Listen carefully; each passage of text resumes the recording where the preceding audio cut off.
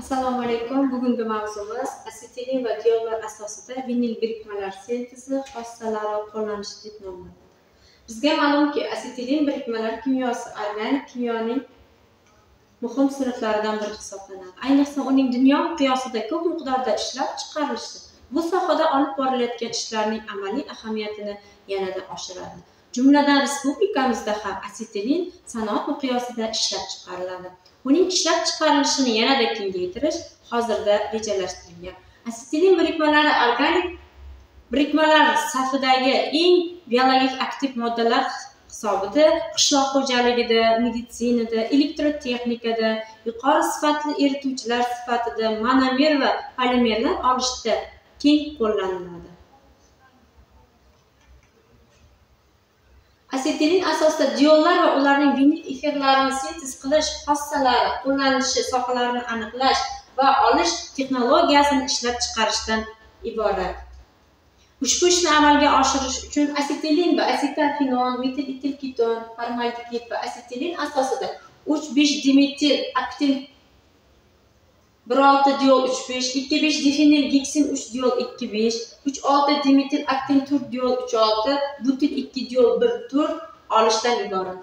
Keyingisi esa 3-5 dimetil giptadin 1-6 diol 3-5, 2-5 difenil giksin 3 diol 2-5, 2-5, 3-6 dimetil aktin tur diol 3-6, butil 2 diol 1 tur va 1-3 digidroksibenzollarni asetilin ishtirokida atmosfera va yuqori bosimda vinillash reaksiyasi natijasida mos ravishda diollarning vinil birikmalarini olish jarayonini o'rganishdan iborat. Keyingisi esa diollarni vinil efirlarini unumiga turli xil omillar katalizatorlar va erituvchilarning tabiatining ta'siri hamda miqdori reaksiya davomiyligi harorat va bosimning moddalar mol nisbatining farqlarining ta'sirini aniqlashdan iborat. Keyingisi esa diollarni ikki komponentli metal gidroksid dimetil sulfoksid va uch komponentli seziftari metal gidroksid dimetil sulfoksid yuqori asosli sistemalarda asetilin bilan vinillash reaksiyasini o'rganishdan iborat. Keyingisi esa tanlangan diollar va ularning asosida olingan vinil efirlarni kvant kimyoviy hisoblashlarini olib borish hamda vinillash jarayonlarini matematik modellashtirish va matematik ifodasini keltirib chiqarishdan iborat. Sintez qilingan diollarning vinil efirlarini gomogen va gidrogen gatolitik usulda hosil bo'lish mexanizmini taklif qilish. Diollar va ularning vinil efirlarini sintez qilish texnologiyasini yaratishdan iborat. Sintez qilingan birikmalarni kimyoviy xossalarini va biologik hamda qo'llanish sohalarini aniqlashdan iborat. Ushbu ishda Favorskiy reaksiyasi asosida asetinin va katalizator kali gidroksid asosida ularni ya'ni 2-4 pentadionizit asosida 3-5 dimetil geptadin 1,6 diol 3,5 sintez qilindi. Ushbu jarayonda hosil bo'lgan 3,5 dimetil geptadin 1,6 diol 3,5 ni infraqizil spektri keltirilgan. Keyingi ishlarimizda esa kaliy gidroksid dietil efiri asosida ikki besh difenil gipsin uch diol ikki besh sintez qilindi va uning tuzilishi infraqizil spektri orqali isbotlandi keyingi ishlarimizda esa butun ikki diol bir turtni olish reaksiyasi keltirilgan bunda formaldegid va asetilin asosida butun ikki diol bir turt sintez qilindi ushbu jarayon gitrogen usulda olib borildi. Ushbu jarayonda esa butun ikki diol bir turtni sintezi uchun katalizatorlardan foydalanilganda eng yuqori unum bilan mis nikel kremniy oksidi ishtirokida olib borgan reaksiyamizda eng yuqori unum bilan hosil bo'lishi o'ttiz sakkiz foizni tashkil etdi. Va hosil bo'lgan sintez qilingan butun ikki diol bir to'rtni infraqizil spektri keltirib o'tildi keyingi ishlarimizda esa sintez qilingan asetilin diollarini asetilin asosida va katalizatorlar ishtirokida vinillash reaksiyalari o'rganildi va ushbu sohada vinil efirlarini mono va divinil efirlarini hosil bo'lishini o'rganildi. Keyingi jarayonda esa ushbu slaydimizda gomogen usulda uch besh dimetil geptadin bir olti diol uch ni asetilin bilan vinillash reaksiyasi o'rganildi. Ushbu reaksiyada uning mono va divinil efirlarini hosil bo'lishini ko'rishimiz mumkin. Keyingi jarayonda esa ushbu jarayonda olib borilganda erituvchi sifatida benzol katalizator sifatida esa natriy gidroksid ishtirokida diolning faqatgina monovinil efiri hosil bo'lishini ko'rishimiz mumkin uch besh dimetil geptadin bir olti diol uch beshni vinil efirlari umumiga katalizator harorat ta'siri o'rganildi va erituvchilik tabiatini ta'siri o'rganilib ushbu jadvalda keltirib o'tildi bunda esa katalizatorlar sifatida kaliy gidroksid litiy gidroksid natriy gidroksidlardan foydalanildi erituvchilar sifatida esa dimetil formamid dimetil sulfoksid va benzol hamda suv ishtirokida olib borildi. Ushbu jadvaldan ko'rinib turibdiki eng yuqori unum bilan kaliy gidroksid katalizatori ishtirokida erituvchi sifatida dimetil sulfoksid ishtirok etganda uning unumi divinil efiri unumi uchun ellik uch foizni monovinil efiri unumi esa to'rt butun o'ndan besh foizni tashkil etdi. Gidrogen usulda 3-5 dimetil giptadin bir olti diol 3-5 ni asetilin bilan vinillash reaksiyalari ham olib borildi. Unda ham e, diolning mono va divinil efirlarini hosil bo'lganini ko'rishimiz mumkin. Ushbu jarayonga esa diol va asetilinning mol nisbatlarini har xil nisbatlarda olib o'rganildi. Ushbu jadvalda esa e, diol asetilin miqdori dioldan 1%, asetilindan asetilindan uch miqdorda olinganda eng yuqori unum bilan e, divinil efiri yetmish olti o'ndan ikki foizni monovinil efiri unumi esa sakkiz butun o'ndan yetti foizni tashkil etdi. Katalizator sifatida aktivlangan ko'mirda natriy gidroksid ishqorini shimdirib tayyorlangan katalizator ishtirokida olib borilganda esa ushbu nisbatlar bir muncha kam miqdorda hosil bo'lganini ko'rishimiz mumkin.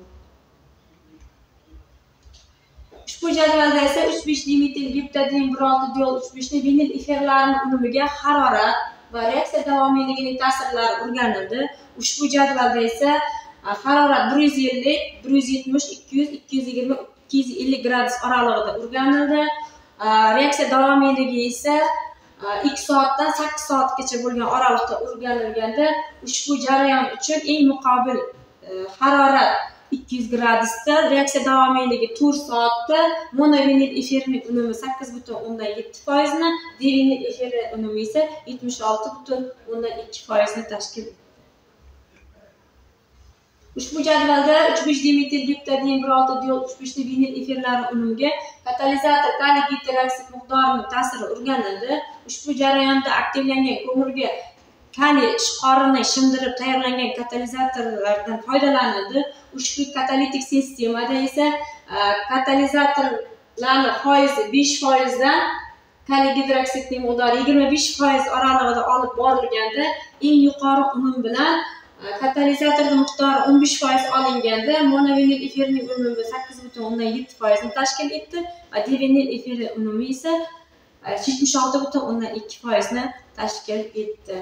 Bundan xulosa qilish mumkinki yigirma besh foiz olinganda olti butun sakkiz foizni e, divinil efirini unumi esa yetmish olti butun o'ndan to'qqiz foizni tashkil etdi. Ya'ni unumda unchalik farq bo'lmaganligi uchun biz muqobil sharoit deb turib o'n besh foizni qabul qildik.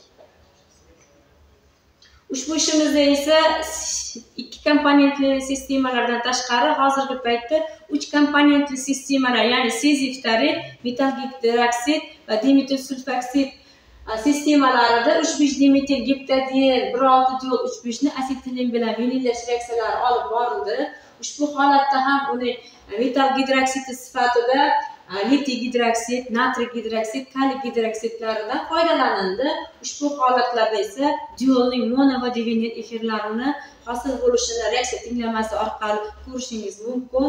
Ushbu jadvalda esa vinil efirlari umumiga harorat katalizatorni tabiatining ta'siri erituvchi bunda dimetil sulfoksid reaksiya davomiyligi esa besh foizni tashkil etadi ushbu jadvaldan ko'rinib turibdiki bu yerda Э, katalizator sifatida natriy gidroksid siziftarit olinganda eng yuqori unum bilan yuz gradus haroratda e, monovinil efirning unumi to'qqiz foizni divinil efirning unumi esa yetmish olti foizni tashkil etdi ushbu jadvalimizda esa uch besh dimetil giptadin bir olti diol uch beshni vinil efirlarni unumiga katalizatorlarning tabiati va reaksiya davomiyligining ta'siri o'rganildi ushbu jarayonda harorat to'qson yettidan yuz gradus oralig'ida olib borildi. Erituvchi esa dimetil sulfoksitdan foydalanildi. Ushbu jarayonda katalizatorlar sifatida litiy gidroksid siziftarit kaliy gidroksid siziftarit natriy gidroksid siziftarit e, katalizatorlaridan foydalanildi. Reaksiya davomiyligi esa uch soatdan olti soatgacha olib borildi. Ushbu jarayon uchun eng muqobil sharoit etib natriy gidroksid siziftarit katalizatori ishtirokida reaksiya davomiyligi besh soatda monovinil efirning unumi to'qqiz foizni divinil efirning unumi esa yetmish olti foizni tashkil qildi. Ushbu jadvalimizda ham uch besh dimetil besh vinil oksigiptadin bir olti ol uch va uch besh dimetil uch besh divinil oksigiptadin bir olti unga asetilinning berilish tezligining ta'siri o'rganildi. Harorat bir yuz o'ttiz gradusda olib borildi. Ushbu jarayonda ham asetilinni berilish tezligini oshirib borish bilan e, mahsulot unumini oshganini ko'rishimiz mumkin. Ya'ni e, asetilin berish tezligi ikki butun o'ndan yetti litr soatda berilganda monovinil efirning unumi sakkiz butun o'ndan yetti foizni divinil efirning unumi esa yetmish olti ikki foizni tashkil etdi. Asetilin berish tezligi yanada ko'tarilishi esa mahsulot unumini kamayishiga olib keldi. Ushbu jadvalda uch besh dimetil bir olti din uch besh diolni bromlash reaksiyasi ham olib borildi. Bromlash reaksiyasini harorat yigirma gradusdan qirq gradus atrofida olib borildi. Ushbu jarayon uchun eng muqobil e, jarayon uchun eng muqobil sharoit o'ttiz gradusda reaksiya davomiyligi uch soatda olib borilganda monovinil efirning unumi sakson to'rt butun o'ndan uch foizni dibromli birikma esa yetmish ikki butun o'ndan olti foizni tashkil qildi ushbu slaydda keltirib o'tilgan jadvalda bunda ham favorskiy reaksiyasi orqali ularning asetilin bilan vinillash reaksiyalari o'rganildi ushbu jarayonda ham uning mono va divinil efirlarini hosil bo'lishini ko'rishimiz mumkin. Katalizator sifatida esa kaliy gidroksid dimetil sulfoksiddan foydalanildi ikki besh difinil giksin uch diol ikki besh va asetilin reaksiyasiga harorat va reaksiya davomiyligi ta'siri o'rganildi. Katalizator sifatida kaliy gidroksiddan foydalanildi. Va diol massasiga nisbatan keltirib o'tildi. Harorat esa yuz gradusdan bir yuz qirq gradus oralig'ida olib borilganda eng muqobil sharoit etib yuz gradusda reaksiya davomiyligi uch soatda monovinil efirning unumi o'ttiz to'rt o'ndan to'qqiz foizni divinil efirning unumi esa o'n butun o'ndan ikki foizni tashkil etdi. Bir yuz o'ttiz gradus haroratda reaksiya davomiyligini olti soatga oshirib borganda monovinil efirining unumini pasayishini ya'ni uch yuz to'rtta to'qqiz foizdan uch butun ikki foizga kamayishini ko'rishimiz mumkin. Ushbu jadvaldan ko'rinib turibdiki monovinil efirini e, hosil bo'lishiga haroratni kuchayishi bilan monovinil efiri divinilga efiriga o'tishini kuzatishimiz mumkin va isbotlashimiz mumkin. Yetmish to'rt foizga ko'tarildi. Keyingi ishlarimizda vinil efirlarni umumiy katalizator miqdori va tabiatiga bog'liqligini harorat bir yuz o'ttiz gradusda erituvchi dimetil sulfoksidda erituvchi reaksiyaning davomiyligi esa olti soatda olib borilganda o'rganildi. Ushbu jarayonda ham katalizatorlar sifatida natriy kaliy e, litiy gidroksidlaridan foydalanildi. Erituvchi sifatida esa dimetil sulfoksid ishtirok etdi. Ushbu jarayon uchun katalizatorning miqdori e, kaliy gidroksidda olib borilganda e, foiz miqdor qirq besh foiz olinganda e, ikki besh difenil besh vinil oksigiksin uch o'n ikkining unumi e, uch butun o'ndan ikki foizni ikki besh difenil ikki besh divinil oksigiksin uchning miqdori esa yetmish to'rt foizni tashkil etdi. Ushbu ishimizda esa formaldegid va asetilin asosida sintez qilingan butin ikki diol bir to'rtni asetilin bilan vinillash reaksiyasi o'rganildi. Ushbu holatda ham diolning mono va divinil efirlarini hosil bo'lishini reaksiya tenglamasidan ko'rishimiz mumkin. Bunda esa butun ikki diol bir to'rni vinillash reaksiyasi katalizatorlarni tabiatini ta'siri o'rganildi. Ushbu jarayonda litiy natriy kaliy gidroksiddan foydalanilganda litiy gidroksiddan kaliy gidroksidga o'tishi bilan mahsulot unumini oshganini ko'rishimiz mumkin. Ya'ni litiy gidroksidda o'ttiz olti o'ndan sakkiz foizni natriy gidroksidda o'ttiz sakkiz o'ndan to'rt foizni kaliy gidroksidda esa qirq uch butun o'ndan to'rt foizni tashkil etdi. Demak metallarni atom radiusi ortishi bilan ularning e, katalitik faolligini ortishini kuzatishimiz mumkin.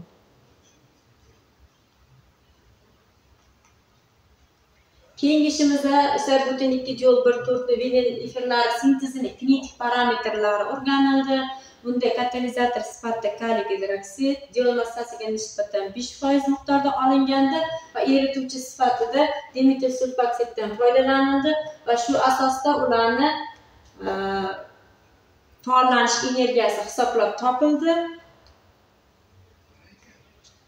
Bunda esa e, butun ikki diol burtida divinil efirni hosil bo'lishini logaritmning bir taqsimtiga bog'liqlik grafi asosida keltirib o'tilgan va ularning hosil bo'lishini e, xromatografiya usuli bilan gaz suyuqlik xromatografiyasi orqali o'rganildi. Bunda esa birinchi e, e, anaqamiz pikimiz butun ikki diol bir to'rtni divinil efiriga mos keladi. Ikkinchi pikimizda esa butun ikki diol bir to'rtni monovinil efiriga to'g'ri keladi. Uchinchisi butun ikki diol bir to'rtni o'zi va to'rtinchisida esa erituvchi dimetil sulfoksidni tashkil etadi. Bu jadvaldan ko'rinibdiki butun ikki diod butun to'rt divinil gaz-xromatogrammasi ushbu jarayonga mos keladi.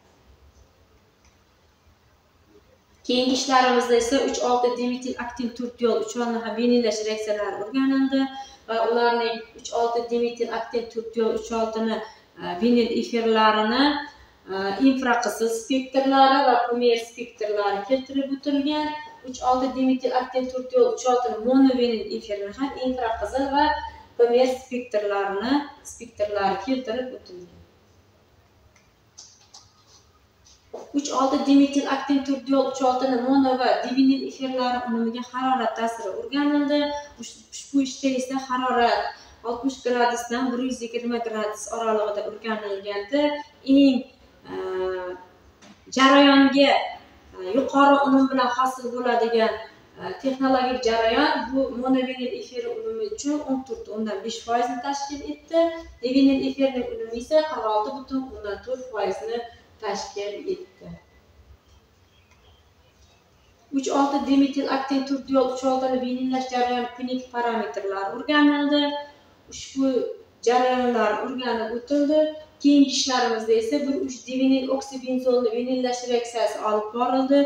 Bunda bir uch gidroksibenzolni mono va divinil efirlarini hosil bo'lishi keltirib o'tilgan reaksiya tenglamalari asosida ushbu ishda ham erituvchilarni tabiatini ta'siri o'rganildi benzol dioksan dimetil formamin dimetil sulfoksidlar ishtirokida olib borilganda eng yuqori unum dimetil sulfoksid erituvchisi olib borilganda kuzatildi. Bunda esa monovinil efirning unumi yigirma olti foizni divinil efirning unumi esa yigirma to'rt foizni tashkil etdi.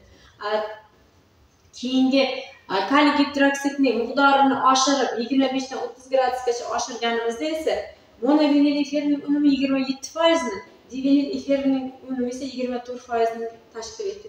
Ya'ni biz uchun aytamizki katalizatorni miqdori ortishi bilan mahsulot unumi o'zgarmasligini ko'rishimiz mumkin. Shuning uchun biza e, katalizator miqdorini yigirma besh foizlik muqobil deb tanladik.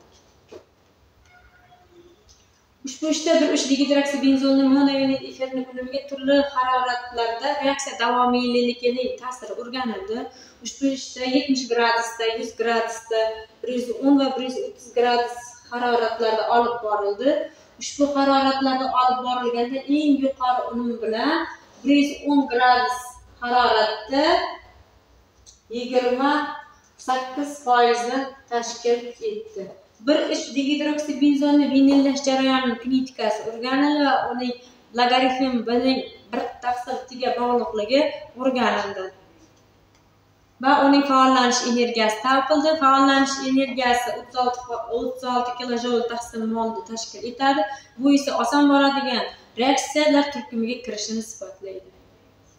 Keyingi ishlarimizda esa har bitta sintez qilingan birikmalarni kvant kimyoviy tuzilishlari aniq keltirildi. Bunda geometrik tuzilishi molekulada zaryadlarning taqsimlanishi va molekulada elektron zichliklarning taqsimlanishlari butun ikki diol bir to'rtning o'zi va monovenil efirlari uchun keltirib o'tildi.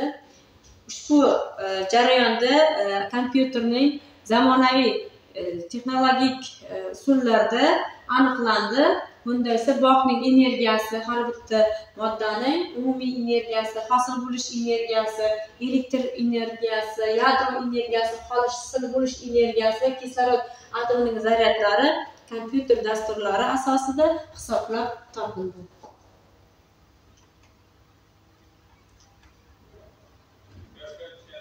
Bizga bizga ma'lumki har bitta jarayon ma'lum bir qonuniyatlar asosida boradi. Olib borilgan tajriba natijalarini e, ishonchliligini baholash maqsadida biz ham matematik qayta ishlash e, ishlarini olib bordik. Bunda butun ikki yo'l bir to'rtni lineyallash jarayonini tajriba natijalari va matematik qayta ishlash natijalari keltirilgan. Ular bir biriga mos keladi. Ushbu jadvalda esa tajriba natijalari va nazariy qiymatning moslik grafik keltirilgan.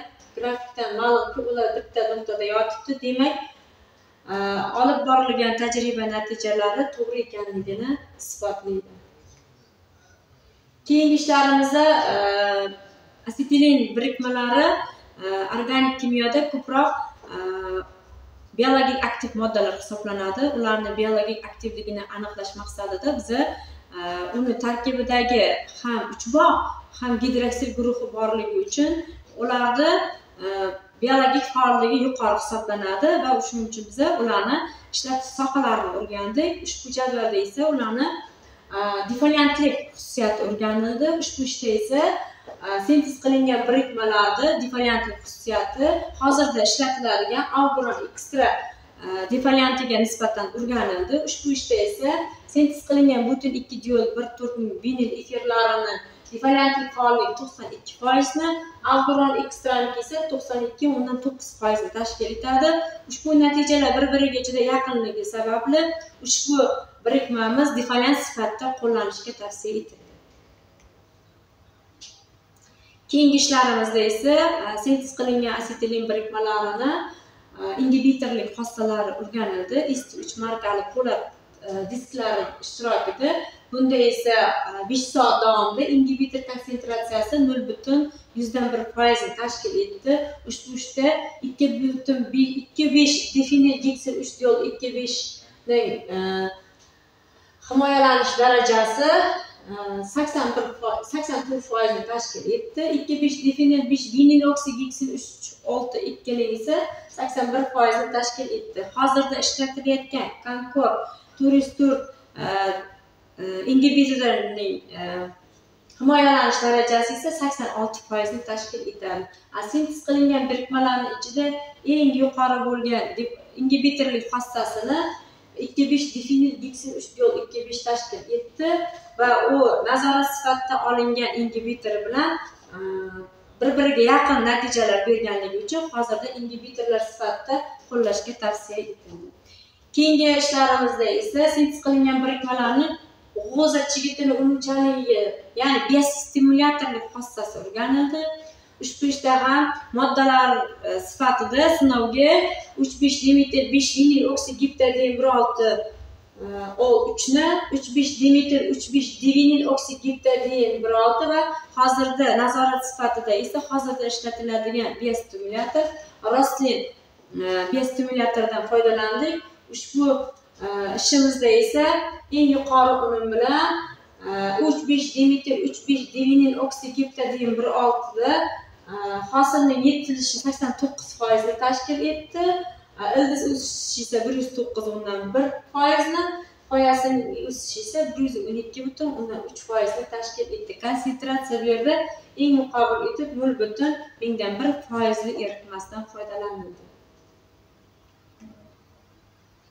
Э, hozirgi paytda э, ushbu jadvaldan ko'rinib turibdiki turli konsentratsiyali preparatlarni pisina strifomas vest zamburug'iga qarshi fungitsidlik faolligi o'rganildi bunda ham sintez qilingan ikki besh difenil besh vinil oksid oksigeksil uch ol ikki va ikki besh difenil ikki besh divinil oksigeksil uchlar ishtirokida o'rganildi bunda nazorat sifatida hozirda ishlatilib kelayotgan fungitsid elta super o'ttiz uch asosida sinov tajribalari olib borildi.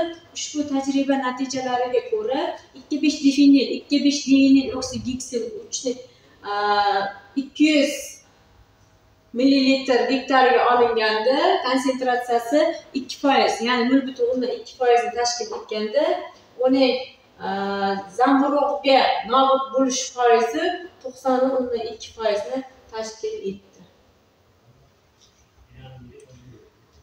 Yuz foiz yuz anaqada olib borilganda konsentratsiyasi nol butun bir foiz bo'lganda esa to'qson butun o'ndan sakkiz foizni tashkil etdi.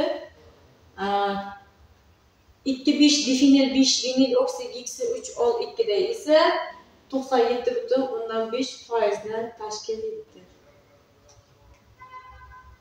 Ushbu ishda esa gammagen katalik usulda diollarni vinillash efirlarining texnologik sxemasi keltirib o'tilgan bunda asetilin generatori bunda asetilin generatoriga e,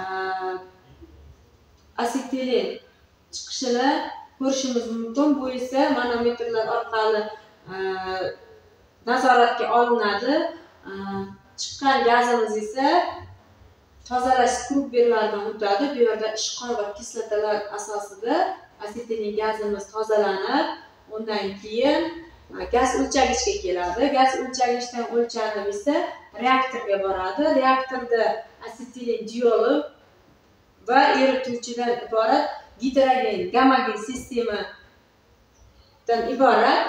Bunda esa reaktorda jarayon ma'lum bir soatda ketgandan keyin jarayon to'xtatiladi va e, organik aralashma e, termopara yordamida ya'ni u bir ekstraktorga keladi.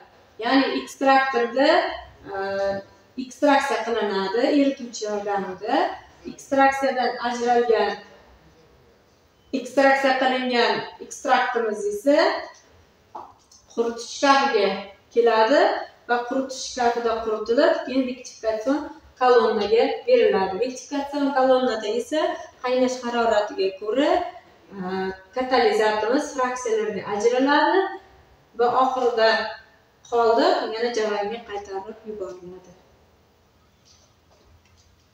Ushbu texnologik sxemada diollarni vinil efirlarni gidrogen katalitik usulda olish texnologik sxemasi keltirilgan. Bunda ham e, asetilen azot ballonlarida olib boriladi. Bunda ham bunkerlarga solingan katalizatorlar ishtirokida olib boriladi. Bunda ham ekstraksiya jarayonidan o'tib oxirida rektifikatsion kolonnaga keladi va qaynash haroratiga ko'ra mahsulotlarimiz fraksiyalarga ajratiladi. Ushbu olib borilgan ishlarni e, ishlab chiqarishni moddiy balansi keltirib o'tildi. Bunda birinchi bosqichda shu butun ikki yo'l bir turtni vinil efirlarini olish quritish filtrlash ekstraksiya qilish bug'latish jarayon moddiy balanslari va oxirida rektifikatsiya jarayonining moddiy balansi keltirib o'tildi. E'tiborlaringiz uchun rahmat.